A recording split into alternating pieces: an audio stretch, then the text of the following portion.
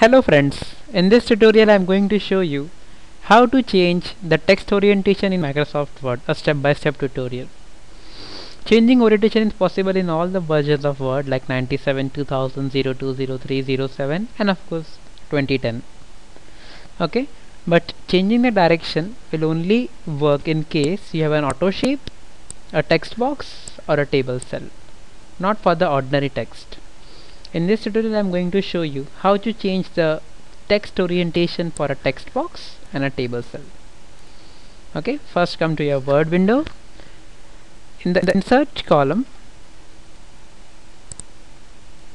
okay, you just need to click on the text box. Select the text box here. Okay, I will just write my name, Mayank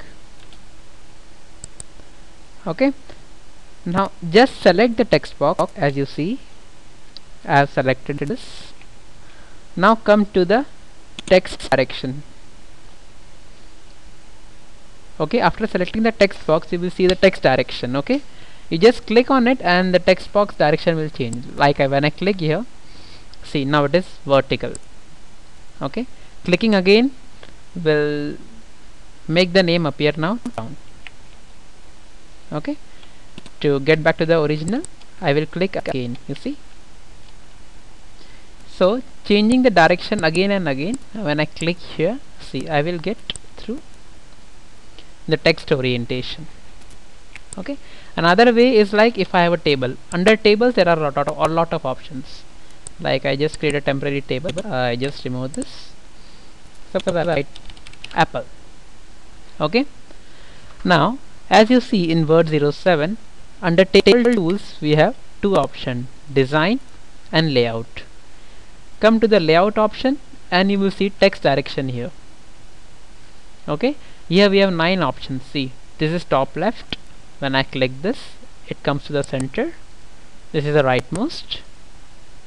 Okay, this may not be evident if I just increase this. Okay, I am increasing that width.